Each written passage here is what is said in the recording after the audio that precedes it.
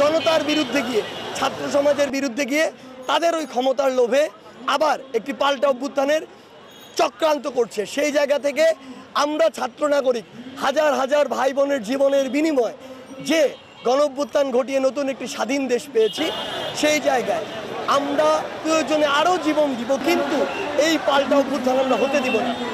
সেই জায়গা থেকে আমাদের আজকের এই অবস্থান কর্মসূচি, আমরা জানতে পেরেছিলাম পনেরোই আগস্টকে ঘিরে তারা এমন একটি চক্রান্ত করছে। এই জন্য আমাদের রাস্তায় নামা